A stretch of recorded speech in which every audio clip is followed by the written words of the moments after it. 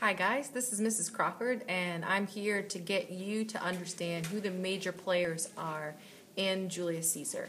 Now that you've finished the first scene, which basically has bit parts and is our exposition, um, let's dive into who you're going to meet. Um, along the way, uh, I want you to take some notes. So let me uh, demonstrate for you, first of all, how I would like you to take your notes. You can see here that I have made a chart in my Google Drive. Um, this chart has uh, various characters that are important to the play. And, and if you look now, you'll see that there are four characters that are the major supporters of Julius Caesar in the play. So I'd like you to pause the video and you can do your chart in notebook paper or you can do it in Google Drive. Um, but I want you to write down the four supporters of Julius Caesar and then I will describe them one by one. Our first character we're going to talk about, besides Julius himself, and hopefully you copied the information about Julius in your notes already, is Calpurnia.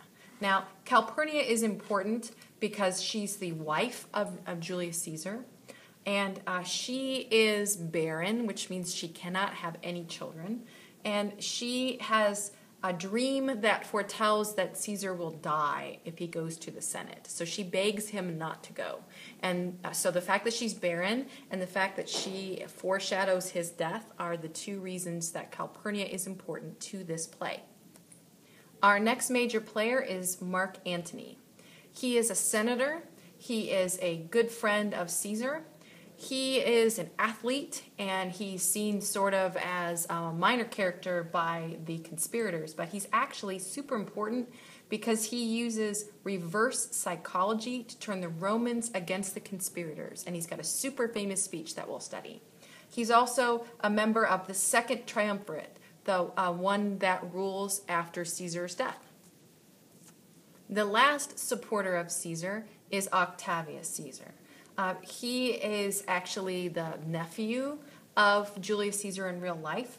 Uh, Caesar adopts him as a son, and he is another member of the triumvirate that rules after Caesar's death. He's also the one that convinces Mark Antony to start a war against the conspirators who killed Caesar.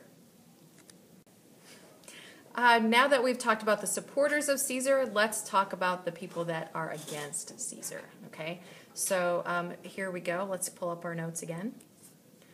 Go ahead and copy down these four people that are against Caesar, and then I'll talk about them one by one.